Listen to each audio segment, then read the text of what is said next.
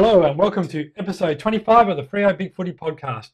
This week we'll be reviewing the game against Gold Coast where Fremantle ran out comfortable 48 point winners after a tight, close first half, and then we'll be the grand, previewing the grand final rematch between Fremantle and Hawthorn, though both teams will not be anywhere near the full strength they were in the grand final, with suspensions and injuries taking their toll. This week, Seppo won't be joining us, who's he's out on a uh, work junket, uh, but he will be back next week. But we do have a special guest all the way from Los Angeles and joining us. Uh, Gil, how are you, mate? Thanks for joining us.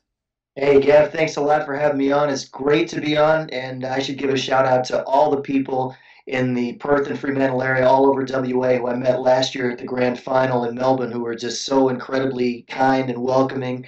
And I hope all of you are doing well.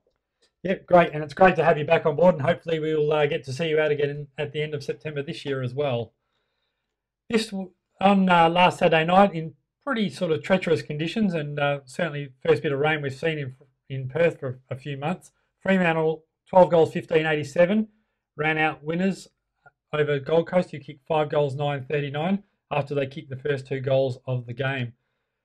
Sandilands was obviously quite dominant with a 58 um, hit out performance, and obviously 20 of those or 21 of those to advantage, depending on which stats you read, which is obviously a record for AFL as well. Uh, but interesting, we still lost the clearances in that. But obviously, the advantages that we did get at times certainly helped us set up a couple of goals, particularly early in the third quarter, which helped break the game open. Obviously, Gil, you would have seen it yourself over there. What did you think of the game? Well, you know, I expected a win over Gold Coast, and uh, it, it, was a little jarring to see them get ahead by two goals in the very beginning, and especially with all the, the hype about um, uh, their maturing players like um, uh, like Matera and uh, O'Meara and David Swallow. Um, so it was really it was exciting to watch them, and uh, I kind of liked. I admired the fact that they really took it to us and really challenged us very early. And um, although the thing that really wasn't mentioned as much as, as Big Sandy and all his hitouts and hitouts to advantage was the job again that Ryan Crowley did on Gary Ablett. Um, just really completely uh, uh, negated his presence, and especially how he was able to suck that free kick out of him at the very beginning and kick the first goal.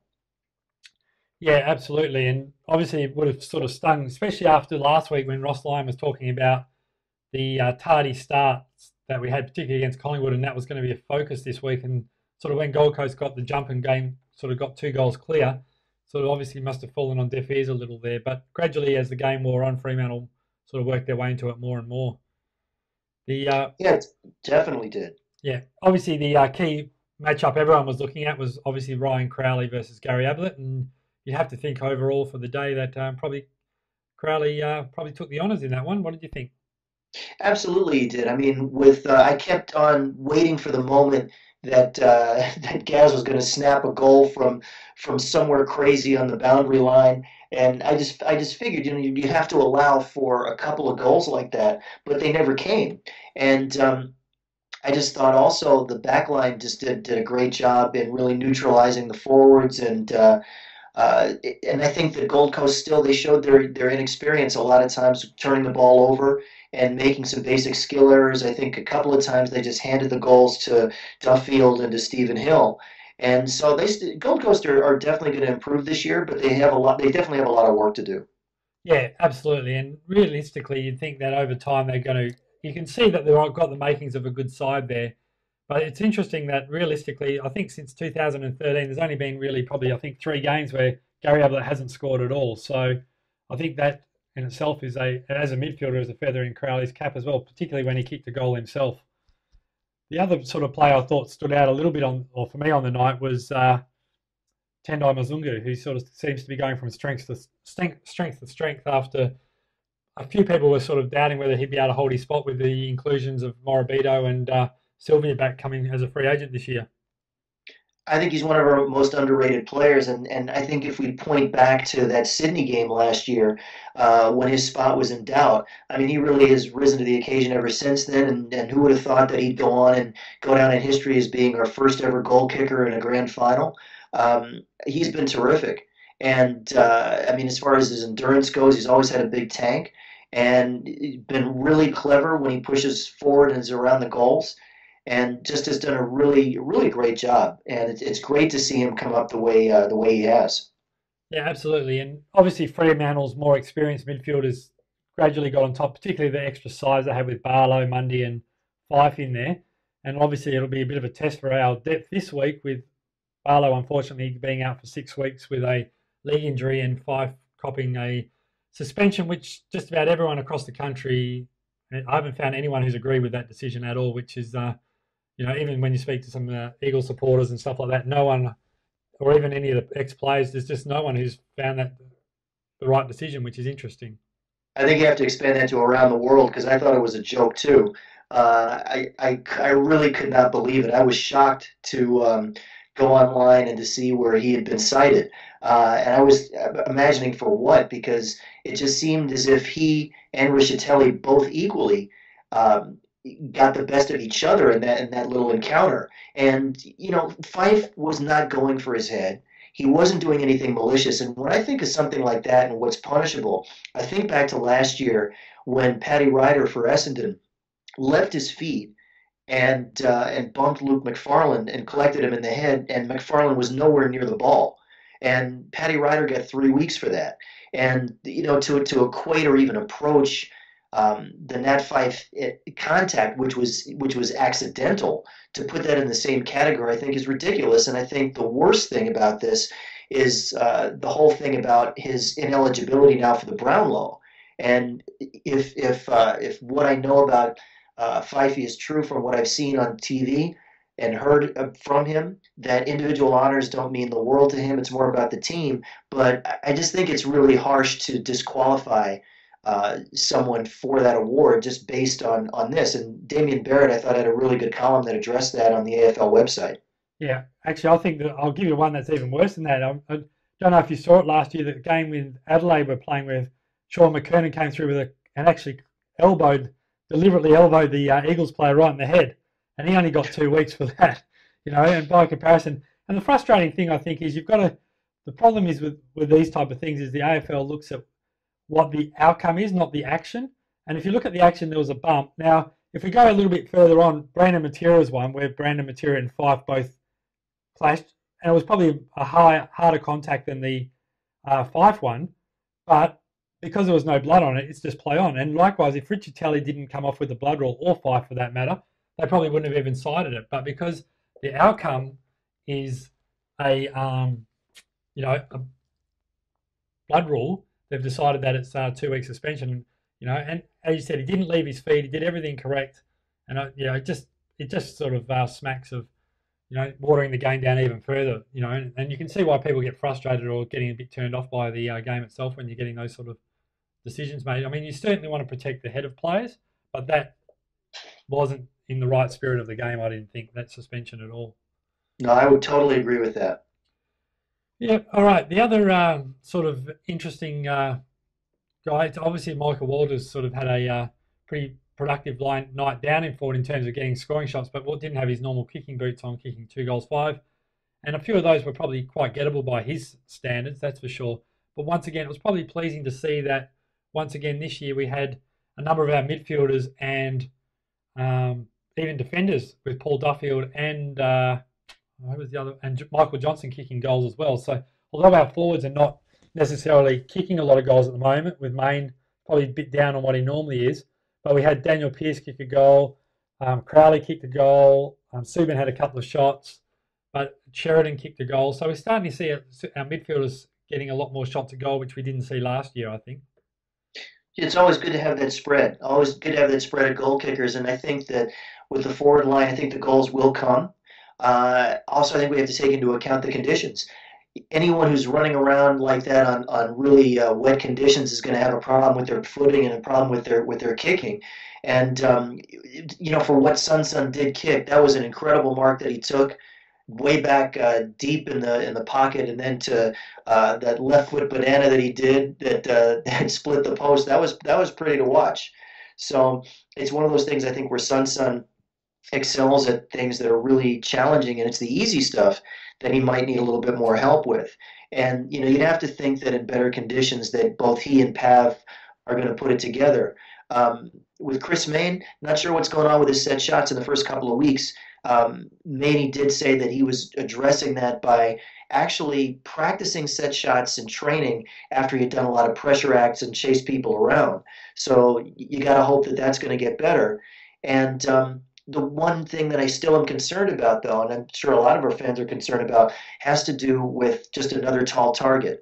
Because uh, as, as nice as it to see Jack Hannath get uh, some game time, he hasn't really proven yet that he's that second reliable tall target that can take pressure off of Pav the way that uh, Zac Clarke has been shaping up to be, the way that Aaron Sandilands can be, and hopefully when Scott Gumbleton comes back, the way he can be. Yeah, absolutely. I think, I mean, in fairness, probably the conditions didn't suit Hannath a lot last week, and he did work hard to try and move up and down the ground. But as you said, like, I mean, he didn't sort of even really relieve Sandy in the ruck that much either, which probably which didn't allow him to go down forward. So I think if you're going to if he's going to get us rolling side, he probably either has to make a little bit more of advantage of forward or run around in the ruck a little bit more because I actually think he's better up around the ground than as a forward.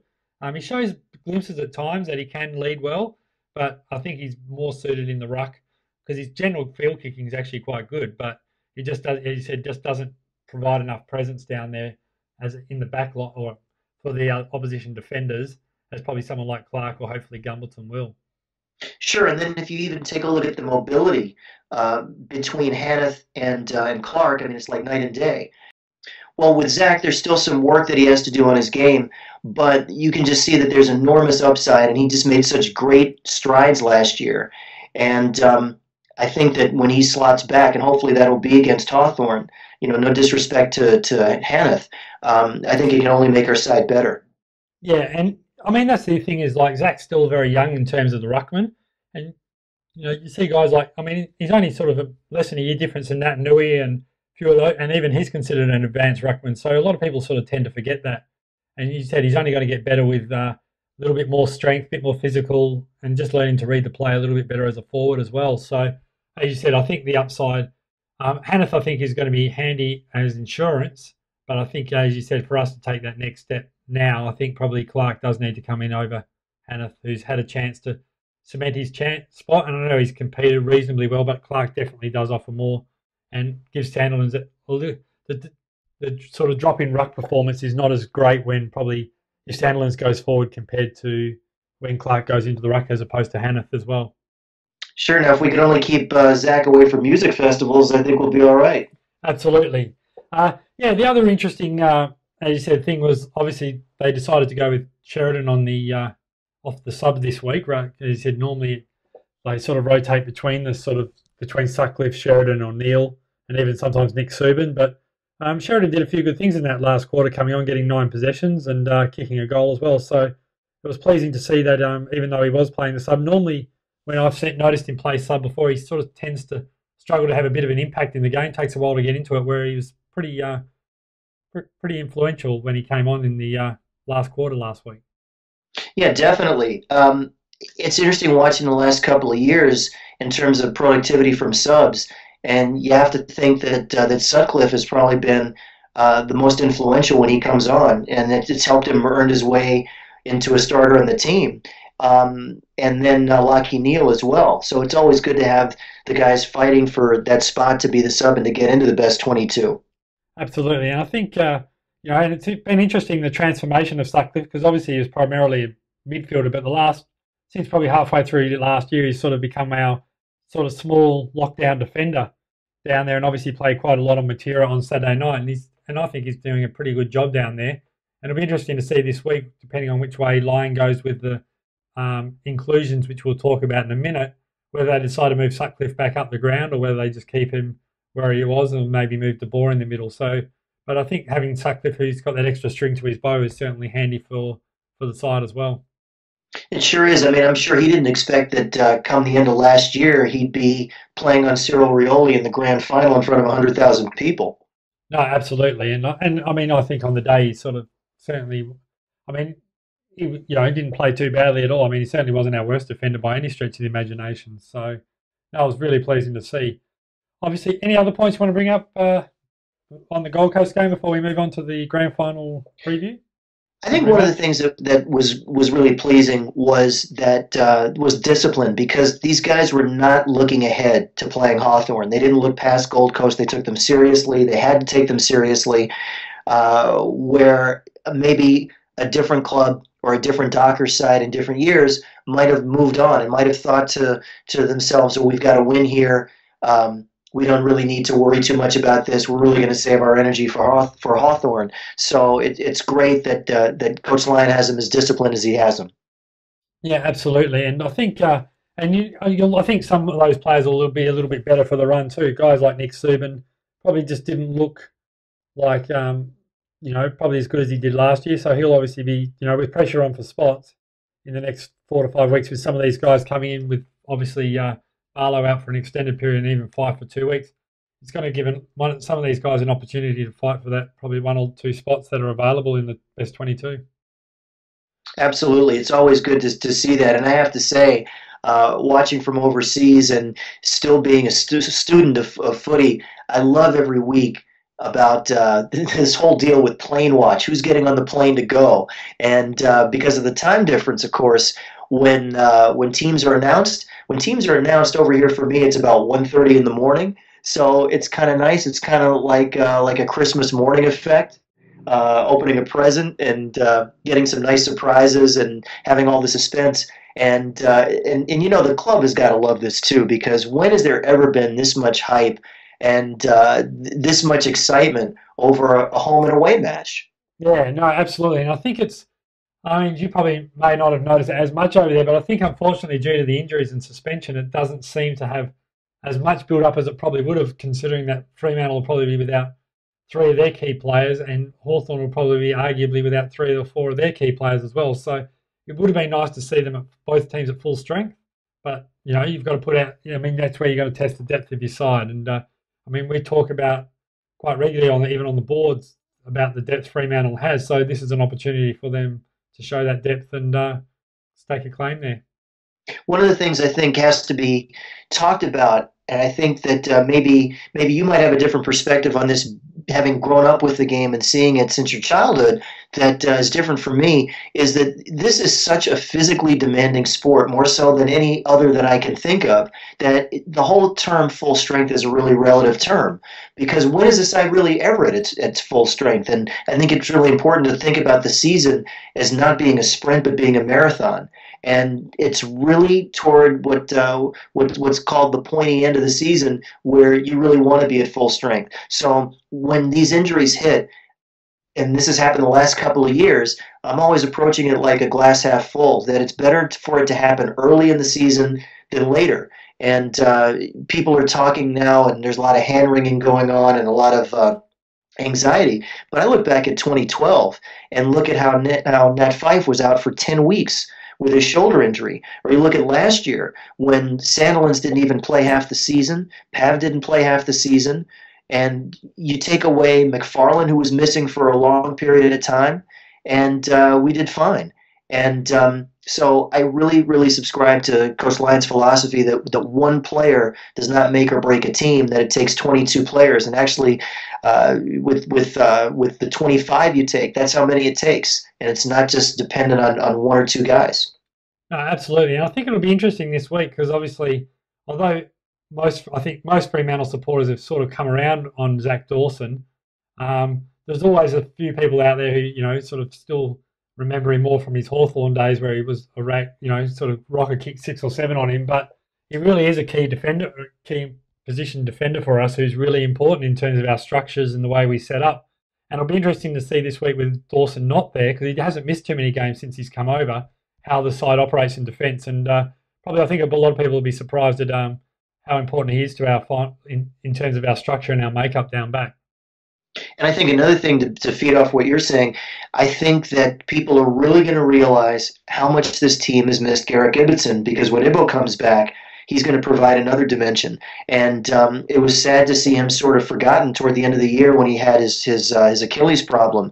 Um, but you, you really have to wonder if he would have uh, made somewhat of a difference in the grand final had he been available. And um, and and Dawson, yeah, Dawson has been extremely important. I still remember uh, the game that he played in the uh, eliminator or in the eliminator against Geelong in, in 2012, and uh, how how well he stood up there and how well he stood up the whole time.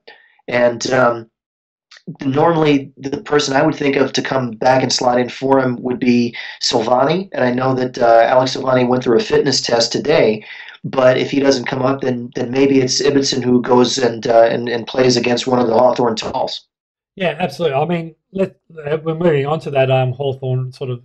We're recording this on a Wednesday, so we don't know the ins and outs. So we're just having a bit of a sort of speculation between us about who will come in. Obviously, three outs for us at this stage are going to be Zac Dawson, Nat Fyfe, and Michael Barlow. But there's also a little bit of a doubt on Michael Johnson as well, who didn't train today.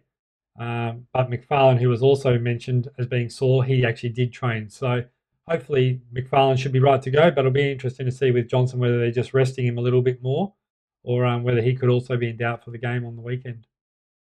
Yeah, we'll have to we'll have to see about that. It's funny how the footy gods have uh, ways of evening up things because uh, earlier in the week, when all the reports were coming out of Hawthorn about Sam Mitchell not being available and um, also Luke Hodge not being available or possibly not being available. I think the footy gods kind of threw us something uh, to make things even up in that way. Yeah, absolutely, and it, and it's certainly a much more even game now. And I think it'll be interesting, as you said, Gil, if they decide to bring Ibbotson in to the sort of back line this week, whether um, he does go on Gunston, because I think he would have been a very good matchup for Gunston in the grand final. And uh, so it'll be interesting to see how uh, Lyon approaches that defence because obviously Ibbotson's got a lot of experience down back there, and whether they move like McPharlin and Johnson onto the key backs in David Hale or key forwards in David Hale and Roughead, or whether they decide to uh, you know bring Silvagni in instead and play him down back as a, on a key defender and maybe give Ibbotson another week in the WAFL. I think that's a great point, especially the one that you made about Ibbotson playing on um, on Jack Gunston. Because if you look at last year, there, I think there are a couple of things people forget about the grand final last year, which is for the last ten minutes of the game in the fourth quarter, Hawthorn didn't score on us. And the other thing, if you look at uh, at their forward line, uh, Ruffy, I think, had uh, had one or two. Uh, Buddy had one, but it, of course, it was Gunston that really uh, that was really doing the most damage. And I don't think that that um, Dawson looked completely comfortable playing against him. Whereas I think Ibbotson was probably, as you said, better suited for that matchup. Whereas uh, whereas whereas Dawson, you might feel like uh, that he might be better suited to take on someone like a Roughead or a David Hale. Yeah, absolutely, and I think that'll it'll be interesting to see the way they go and also the way they decide to go in the midfield. Obviously, you'd have to think Lachie Neale would be one of the inclusions um, this week, considering he was on the edge last week, and probably some people would feel it was a bit unlucky not to keep his spot after the first game versus Collingwood. So you'd have to think Lachie Neale will be the one guy coming in. It'll just be interesting to see what they decide with the other one. I know there was some speculation or talk from Ross Lyon about Hayden Crozier coming in um, and maybe move and then they may look to move De Boer into the middle of the ground, and he would be a natural replacement, or whether they decide to go with Sylvia, who is sort of coming off a bit of a quad strain two weeks ago, or whether they even uh, really go for the temp fate and they look at Morabito in the middle. Well, what I read today was and, and saw in an interview with Ross Lyon last night is that Morabito is still eight to ten weeks away. So that that rules that out. But here's something else I thought about, which is kind of a long shot, odd way of thinking about it, kind of unorthodox. You know, Ross Lyon has talked, or Coach Lyon has talked about moving Michael Walters to the middle, and I'm wondering if that might not be his thinking this time in moving Michael Walters to the middle and slotting Hayden Crozier in up forward. Um, although I although I prefer the idea that you suggest that uh, De Boer go into the middle and you keep Michael Walters where he is, um, because I, I just think with De Boer and his tackling, and that's that's probably the best part of his game, and he's not the most reliable kick. That he'd probably be better suited to be in the middle, and as you said, is a, is a natural fit for that. I think they'll also have to look at the conditions as well. Um, obviously, being at the MCG, I mean, we've had a bit of rain here. Obviously, last week it'll be interesting to see if there is any rain in Melbourne for the game. But the problem, obviously, De Boer would be a natural matchup for someone like Grant Birchall, who would like loves to run off half back and does create a lot of run from defence for Hawthorn. So his role is pretty crucial. Where, as you said, looking at the other guys they've got in there, possibly Crozier is probably it's probably not the strength of his game. He's more of a creator. And as you said, if they decide Walters to go in the midfield, Crozier would be a natural replacement up forward. But if they decide not to do that, you know, whether they decide to bring Sylvia in, uh, I mean, Sylvia could then play that half forward role. And, you know, even if he doesn't kick a lot, but if he could lock down on Birchall. And, you know, as I saw on someone's Twitter feed this week, if you're looking at the glass really half full, in Sylvia's last game against Hawthorn, he had 37 touches and four goals. So, albeit four years ago or five years ago. So, but if you wanted to go in the real half, glass half full, that could be an option as well. Yeah, that would be something. And, and the other thing is, too, the thing I admire about Coach Lyon in this situation is uh, that he's not playing favorites here and he's not playing politics. That, um, you know, generally a team signs a free agent for a number of years, pays him some really good money, as, as Fremantle have done with Sylvia. You'd expect uh, that he'd be in there some way and somehow. And he has to prove his fitness. He has to prove that he is, uh, is adept to, to our style of play. Um, although I'm sure I share a lot of the fan sentiments and really wanting to see Sylvia out there and you know showing his worth and seeing what he can do.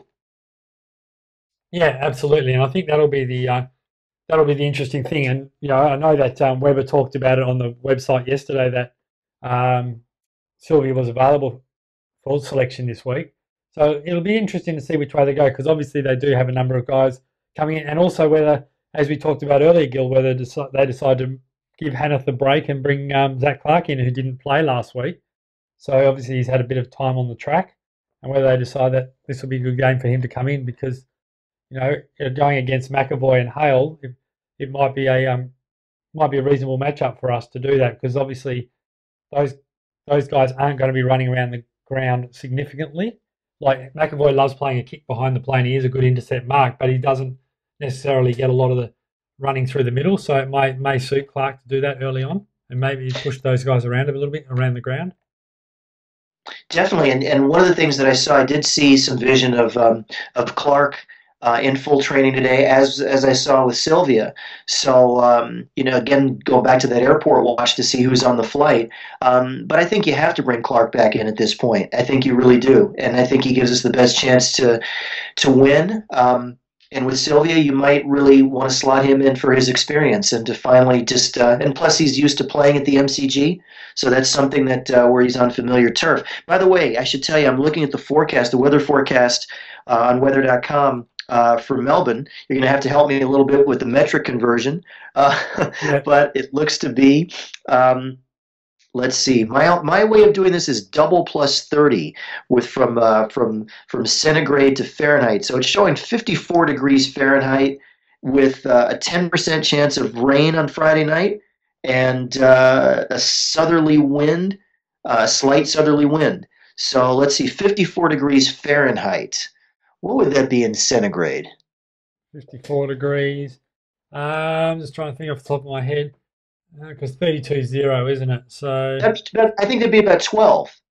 Yeah, 12. 12 degrees centigrade. Yeah, 12 degrees. Yes, it is. So yeah, 12 is not too bad. Like, I mean, obviously it's not um, super warm or anything, but I mean, that's comfortable conditions for football anyway. So as long as there's not, I mean, and I mean, rain probably wouldn't hurt us to a degree either because obviously Hawthorn like playing that skillful kicking game. And we've just had a game in the wet as well. So, I mean, we've got that experience in the wet as well to a degree. So, it may end up suiting us a little bit better. On saying that, we'll probably lose a couple of our key tall, or key bigger inside mids with Barlow and uh, Fyfe not playing. So obviously a fair bit will fall on Mundy to be able to help with those clearances and using his body in close. Sure, and what you know, it's funny. One of the things that we're not talking about about uh, exclusions from either side that's pretty key is uh, Brian Lake that he's still on suspension. And uh, you, you know it was obvious last year he was he just killed us with all the intercept marks and really shutting down Pavlich and and doing what he did. So I think I think Hawthorn I think that's a that's a pretty big deal for them to be playing without him because they are now pretty undersized in their back line. Yeah I think the in- interesting ones will be like I think they may run with um, Sutcliffe on Cyril Rioli again, no doubt. But the interesting one for me will be whether they decide to use, um, like, because obviously Luke Breust is one of those players that in their forward line they manages to slip under the guard quite regularly, um, and whether they they decide to put Spurr on him because he would be obviously our best, probably lockdown defender in that regard. I mean, Duffield's got the height, but I don't necessarily think it's his, you know, great thing. And Breust does love ducking out of the back of packs and stuff like that. You really have to be on your game with him. He does love. Um, he's a little bit like um, Sidebottom at Collingwood, but a lot better in terms of that. He'll slip out the back of packs and just manage to convert when he gets the chances. Normally, obviously, he didn't do that too much in round one. Where I think I think Ibbotson may. The more I'm thinking about, it, I think Ibbotson may come in this week because I think he'll be a better matchup for Gunston than maybe what Silvagni is. I don't think Silvagni will have the necessarily the speed to catch him or to stay on him. Um, and you know, it'll be just interesting to say see which way Lyon goes with that. Sure, definitely. The other thing is too that we one name we haven't mentioned as a possible inclusion is Clancee Pearce, and uh, I saw him also um, envisioned from practice um, training full. So you have to wonder if and if and uh, and where Clancee Pearce would slot in because um, he's he's a big part of the team too. Yeah, he is. Uh, but he didn't sort of play very well last week in the or in the game again in the Peel game versus East Perth. And I know some people look better when they go up a level, but I think he'd be probably second or third in line to be honest, from what I've seen in terms of choices. But as you said, they may decide that Pearce in the matchup may be all right on some on the right sort of player, but he doesn't seem to have a natural matchup down back either. Because Hawthorn have got those three blokes who are around that 193 centimetre, and then you've got the others in there, and I just can't see see him uh, doing that. So, but it'll be interesting to see. The other interesting point will be if Mitchell and Hodge don't play, um, which there is obviously some doubt. Who do you think Ryan Crowley will go to?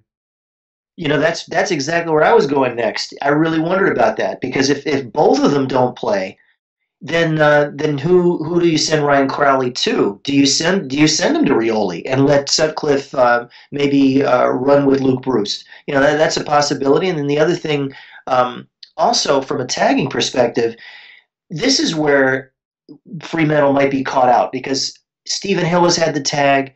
Um, and then you look at David Mundy, and people talk about possibly tagging him, and you wonder if Fremantle is going to be a little bit more vulnerable to a tag missing Barlow and missing Fyfe, that you, suddenly you take those two out of the equation, and gen, and then so then you narrow that down, and someone becomes taggable, for lack of a better word. Wonder wonder how that's going to play out. Well, that's it. I mean, for me, I think Crowley, the ideal matchup for Crowley would be Burgoyne. I think um, Shaun Burgoyne has, you know, if you let him run free across that back and through the midfield, he can really carve you up, and he uses the ball really well. So I think he would be a nat and and in terms of pace and size, I think he would be a really good matchup. I think if Cyril got off the chain a little bit, then you can certainly look at it like Lyon did last year when they moved um, Crowley off Stokes, I think it was, and moved him on to Stevie Johnson. But right. I, I, think right. Burgoyne would probably be a good starting point for him. Um, all the other option is you move Mzungu onto Burgoyne and start him. But one of those two, I think, would definitely have to probably pick up uh, Burgoyne. Also, how do, you, how do you account for Stephen's brother for Bradley Hill? Because when he gets off the chain, he can be pretty dangerous too. Well, the other option is um, I would probably look at maybe playing them both on each other. that happened for a part of the grand final last year. Yeah, I mean, you can certainly look at running them either way, um, both of them either either side. And I think I think Stephen's taken a step further this year as well. He's certainly a lot more. Um, he's certainly a lot more uh, in and under the packs a bit more this year, and uh, and he's certainly using his physicality a little bit more than he probably has in the past. So I think it's uh, I think it'll be interesting to see, and obviously for us as well, we've got um, our small forwards in Ballantyne and Walters are both a little bit iffy as well with uh, Walters with his ankle, and then uh, Ballantyne last week as well with the um, head clash, etc. So hopefully uh, we'll get at least some of our better team out there. So that's for sure. Why didn't the match review panel suspend the ground? for uh, for hitting Hayden Ballantyne in the head. And the crowd made head contact with him. Yeah. Well, nothing would surprise me these days. Maybe because he didn't bring the blood rule out either. so, the uh, I don't know. It'll certainly be a um.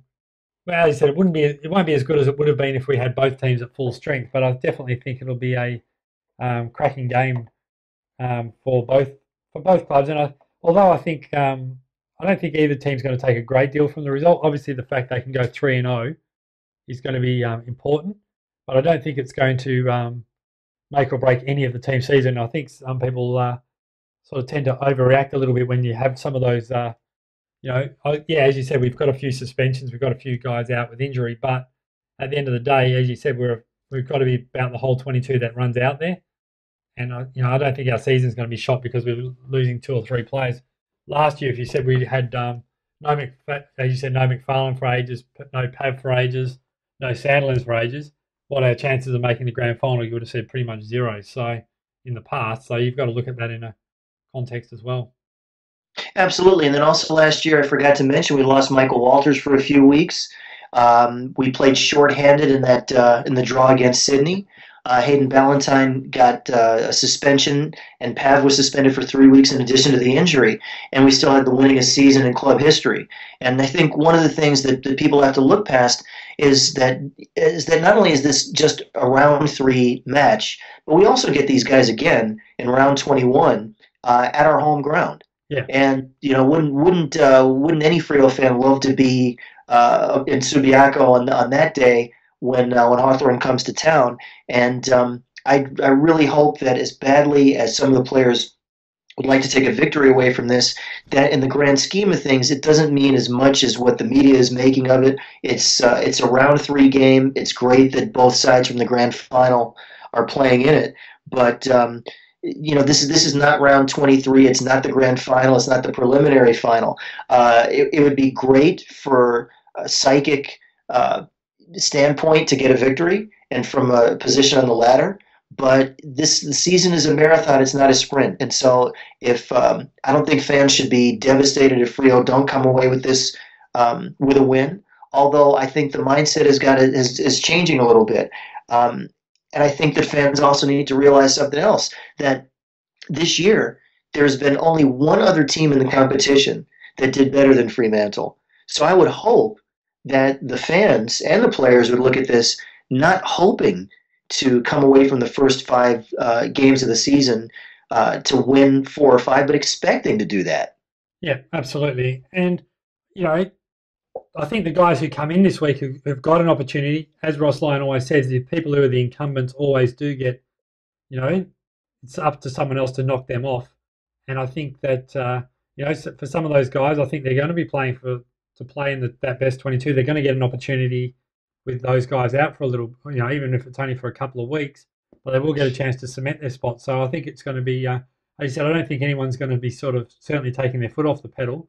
But uh, the more I'm thinking about it, particularly with what we were discussing before, with the uh, lack of size in Hawthorn's backline, you know, with guys like Cheney and stuff like that down there, I think the more you think about it, I think they will bring Clarke in this week, and uh, you know, just just to stretch that defence a little bit more. Obviously, they'll probably try and play. Josh Gibson will probably go on Pavlich, you would think, um, and then they'll, you know, it'd be interesting to see how they uh, how they work it because I think we could certainly stretch them a little bit down back. But likewise, I'll probably say the same about us with our with our side. So sure, definitely, and um, you know, again, um, with with the tall targets, you just hope that by the time that uh, that we do get Hawthorn in round 21 and toward uh, toward finals time, is that we're really going to have some really good tall uh, options to throw against opposition sides rather than leaving uh, most of the work to be done by Pavlich or depending on um, uh, on Sandy when he's when he's moving up forward. And um, again, you know, here's someone that we haven't mentioned is Scott Gumbleton, and you hope that he pulls up from all these uh, hamstring issues, and you hope he pulls up well. And um, you know, it, it's it's interesting because getting these guys back in the middle of the season, because the way things are going, he might slide into the team around when uh, Mick Barlow might. And um, that's something else to think about that when you get guys coming in fresh off of injuries in the middle of the season that can be a blessing in disguise as well. It can be almost as if you, you went out and acquired uh, a star player that's coming into the team in the middle of the season. Yeah absolutely. And know and that'll take a little bit of time but obviously you know it's disappointing that he didn't get that opportunity to you know after his strong preseason to be able to show his wares but hopefully as you said he'll get back mid-season and uh, be able to do that was interesting last week looking at the game as well, the Hawthorn Essendon game. Obviously, it was close, but the other part was well that Essendon had an extra nearly 100 possessions more than Hawthorn did. And so, just in terms of the way they possessed the ball, a lot of the um, realistically only three Hawthorn players had over 20 possessions. So it was interesting that they sort of didn't tend to overuse the ball compared, especially compared to what Essendon did with their sort of chipping style, where they took an extra what nearly 50 marks compared to Hawthorn. So be interesting to see what Lyon makes of that and how if he adapts his game style at all to it, or whether he just they just play what we play and then uh, see if it's good enough on the day. Well, I'd have to think there have to be some adjustments made because if you look at the game last year, uh, before the grand final one in Tasmania, uh, Hawthorn pretty much carved Freo up. And I thought last year in the grand final, I think one of the things that's going to be important for the Dockers to do is to figure out when other teams are playing Fremantle style footy, how do we counter that? Because Hawthorn are such good ball users. I've never seen a team so skillful with the ball and make great decisions with the ball. And they've also got obviously the preponderance of left footers. Does that mean that more effort is made to force them onto their right side? Um, and you know how do you how do you go about doing that? And when Hawthorn does beat the press by chipping around and kicking into um, into and not and avoiding contests and and kicking that way, how do you counter that? And I think some those, some of those things are going to have to be looked at because you, you made that great point about Essendon and them chipping the ball around, but taking a lot more marks, using a lot more possessions. And um, uh, you have to look at that as far as, as how to counter Hawthorn's expertise. Yeah, absolutely. So yeah, no, it'll certainly be a cracking game, and um, you know, and it's nice to be back on the Friday night stage as well. So you know, Fremantle in the first three rounds have certainly uh, been in the limelight. So it's up to us to go out and uh, provide ourselves. So what do you think? Uh, what's your tip for the game, uh, Gil? What do you think will happen? You know, here's what I think is well. First of all, I should say I'm really very excited that it will be shown live here in the states, uh, albeit on uh, uh, Fox Soccer Plus. And I know I know a lot of people are cringing out there when they hear that uh, yes, AFL is on a soccer network. But hey, you know I, I, wouldn't care what channel it's on as long as we get it. Um, and uh, I think it's going to be I think it's going to be a tight game. Um, and interestingly enough, I think I can't really make a call on this yet because of the inclusions. I would hope that uh, that no matter what happens, that that it's a that it's an exciting game. Um, I would think that this one might be a little too close to call. Yeah, I think if um, I think if Fremantle went in with the same side they went against Gold Coast, I think we would have been favourites to win, um, provided that Hawthorn didn't have some of their players still out. But I think now with our outs, I certainly think it more than narrows um, evens up the ledger and probably Hawthorn have probably got close to their better side in, particularly because I think Hodge and um, Mitchell will play. I don't think Hodge will play, but Mitchell definitely will, I think. So it'll be uh, interesting to see how Fremantle adjust to it, and especially for the young blokes as well. Getting another opportunity on the MCG is always a bonus as well. So we, certainly, if they get an opportunity to try and move the ball a little bit quicker through the midfield, which is what we've been trying to do on that sort of ground on a Friday night, it'll be interesting to see how that works and uh, whether we sort of uh, notice any noticeable difference from what happened last year as well. Sure, and you know one thing that we also didn't talk about in terms of emergencies, you wonder if uh, you know Coach Lyon was talking up um, Josh Simpson this week, and you wonder if my, if he might be an emergency in this game, and you have to wonder too how well Colin Sylvia pulled up from training, and it seems like uh, that even down to the emergencies that they might get a crack depending on how some of the guys pull up from training. Yeah, I mean, as you said, it's it's just you know it's funny all the sort of ducks and drakes that you heard. But the thing is, um, it feels like a lot later in the season. But the thing is, with Ross Lyon, he rarely does um, what he normally says is going to happen happens. He rarely pulls any selection surprises. And if the guy, if he says the guy's going to be out, the guy's out. You know, I can't think of too many times in the last two years where he sort of said, "Oh, this player's not playing," or "This player is playing," and then it's vice versa, or you know, comes in as a late inclusion or something normally if he rules him out pretty early, it generally stays that way. So it'll be interesting to see, as you said, which way they decide to go. And I think it will obviously come down to the matchups versus Hawthorn as well, as rather than just sort of looking at our structures as well. And I think Matt De Boer is going to be the interesting one to see what they do with him and how he Def- replays. Definitely, yeah. I mean, sometimes he's been maligned for his kicking and for not uh, doing a lot of things that show up in the stat sheet. But he did, you know, Coach Lyon did give him some props last week for making some very important tackles against Gold Coast, and I saw that. And um, you know, he that, so he really has had. He, he does the one percenters. He oh. really does. Maybe they don't always show up, but but he's he's there. Oh, absolutely. If you wanted to ever watch make a video of someone who, you know, showing young footballers doing the one percenters, the stuff that doesn't get on the stat sheet, he would set you could watch his games and you'd easily be able to fill a DVD full because he certainly does that. And and that, and that's the reason why he keeps his spot on the side. I mean, he doesn't get a lot of possessions. I mean, he does. He can mark. He can kick a few goals, and his kicking certainly improved than what it was. But as you said, he's in the side for those one percenters and nullifying their running halfbacks. And obviously, Grant Birchall is um, one of those key players. So it'll be interesting to see. Uh, Mitchell's been playing down there as well, so it'll be interesting to see which way they. And I mean, even Matt Suckling, um, even though he's coming back off a knee, he's certainly with his left foot has got the ability to open it up as well. So all those key forwards down there, or even those smaller forwards, will definitely need to be on their defensive side of their game as well, for sure. Absolutely, you know, and the one thing about Nat Fyfe that no one has talked about, a little silver lining here. Maybe with uh, his not playing the next couple of weeks, maybe it's a good time to get him to sit down and talk contract extension. Well, yeah, I mean, obviously that would be uh, that would be good as well if they could uh, if they could lock that away. And obviously there was some talk this week regarding Mundy as well being close to finalising his contract. So if they get that done, and Ballantyne's nearly done on, on a three-year deal as well, so they've just about all the players they want locked away. If they could get that done sort of by, before the end of the season, um, or certainly before the mid-season break, it would certainly uh, get rid of any possible distractions, etc. And and, um, and certainly uh, all all supporters would be happy. That's for sure.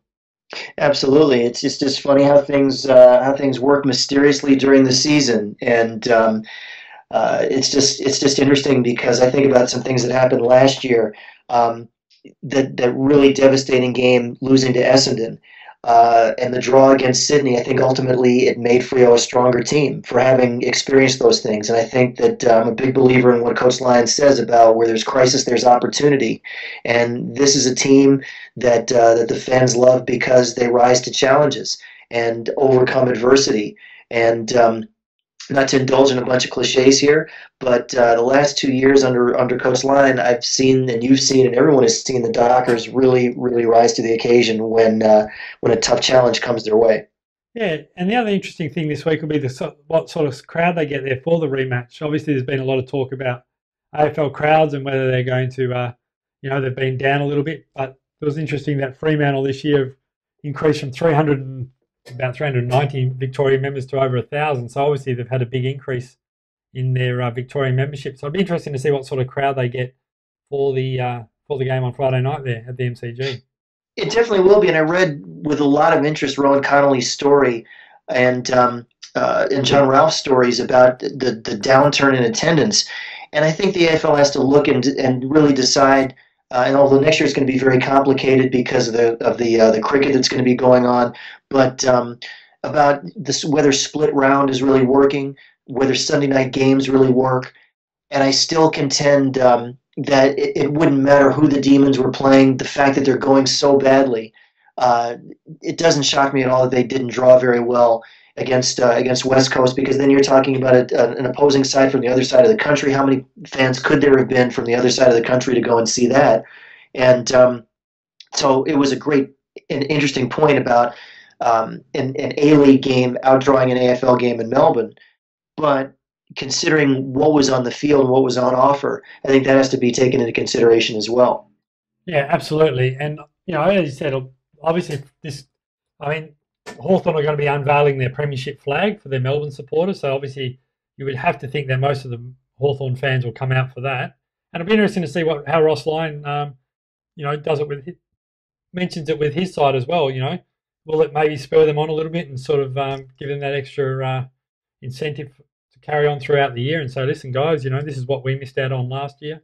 I know he talks about the past as the past, but you know, sometimes you've got to learn from the past as well and make not make the same mistakes. So hopefully will uh, it'll be interesting to see. And I think it will certainly give uh, I think us as supporters a better idea about where Fremantle sits at the moment um, after the game on Friday night.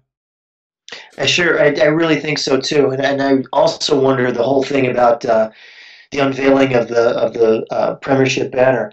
Um, although from from a marketing standpoint too, I'm not sure why the AFL and Hawthorn would schedule a first home game in Tasmania before before they're actually doing this. It would seem to me as if you if you win the Premiership, wouldn't you want to show it off in front of as many people as you possibly could the first opportunity you had? Yeah, uh, it, it, was definitely an interesting ploy. They decided to do that, and obviously they're trying to push pretty hard, you know, with Hawthorn in Tasmania. So, but you're right. I thought they would have definitely done it in the MCG, and Hawthorn Fremantle would have definitely been a good way to start the season as well as a round one matchup. And you know, I'm surprised that they didn't go that way. But you know, as I said, round three comes, and as you said, it's just a chance for us to uh, show our wares. And although it's just another game at the end of the day, and it's just four points, it certainly will. Um, you know, give us an opportunity to sort of uh, test ourselves against another side that's going to be in the top four. You'd have to think come the end of the year. Sure, and, and not to take anything away, anything away from uh, from Freo, of course, but uh, if you really wanted to put some some real spice in Hawthorn's uh, unveiling their Premiership banner, they could have had an opening night game against Geelong and doing it at the MCG with Geelong in the house. That would have been interesting. Yeah, absolutely. With their, especially with their uh, heated rivalry that's been over the years, that's for sure. And uh, yeah, no, it'd certainly be that way. So, but for me, I think um, this week, as you said, it's going to be a pretty tough game to pick. on. it's very hard to pick without the ins and outs being there. But I think when you're in doubt, especially if you're tipping a team, you generally have to go with the side that's got the home fielded home ground advantage, particularly a team that's in the top four. If we had our best side out there, I think Fremantle could have won by maybe two to three goals. But without uh, two of our bigger midfielders in there, I think Fremantle may struggle a little bit, particularly because our forwards in Mayne and Pavlich haven't had the best starts to the year in terms of their production. Production, I know last week wasn't a great indicator, but unless our midfielders, unless our forwards can kick some goals, I think we're going to struggle to beat the Hawks. But as you said, I think it could be a you know toss either way. So you know, but I think Hawthorn may be within by about ten points. It's a possibility this week, and I think if Fremantle get within ten points, it's still a pretty good, uh, pretty good indicator for the rest of the season for us. I think so too, and I really, really think that the more important matchup with Hawthorn is still going to be round 21 at Paterson's because what what a momentum lift that might be to you know to beat those guys on our home ground and take that going into what hopefully will be another really great finals campaign. Um, but somehow I think they have got to they've got to break the mystique that uh, that Hawthorn can't be beaten because these guys are human and uh, we're we're going to get them at some point.